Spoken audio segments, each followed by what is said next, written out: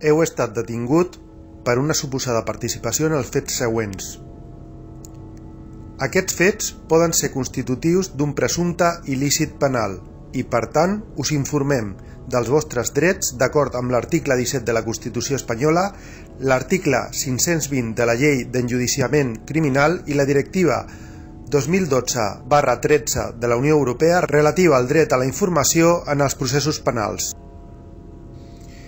Teniu dret a no declarar contra vos mateix, a no confessar-vos culpable, a callar, a no declarar, a no respondre alguna de les preguntes que us formulin o a dir que només declarareu davant del jutge. Teniu dret a tenir un advocat durant la vostra declaració o durant el reconeixement d'identitat. Si no designeu un advocat, se us en designarà un d'ofici. Teniu dret a parlar en privat amb l'advocat al final de la declaració o del reconeixement d'identitat. Teniu dret a fer-nos avisar a qui digueu de la vostra detenció i del lloc on esteu detingut. Si sou estranger, teniu dret a fer-nos avisar de la vostra detenció al vostre consulat. Teniu dret que us assisteixi gratis un intèrpret, si no enteneu o no parleu ni el català ni el castellà.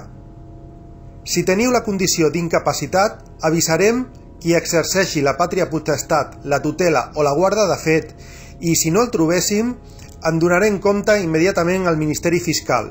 Si sou estranger, avisarem de la vostra detenció al consulat.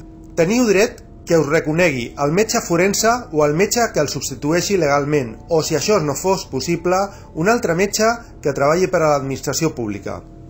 Teniu dret a instar el procediment d'habeas corpus si considereu que la vostra detenció és il·legal. Teniu dret a obtenir una còpia d'aquest imprès, se us informa que la vostra detenció no pot durar més del temps estrictament necessari per realitzar les diligències d'investigació dels fets i en cap cas serà superior a 72 hores.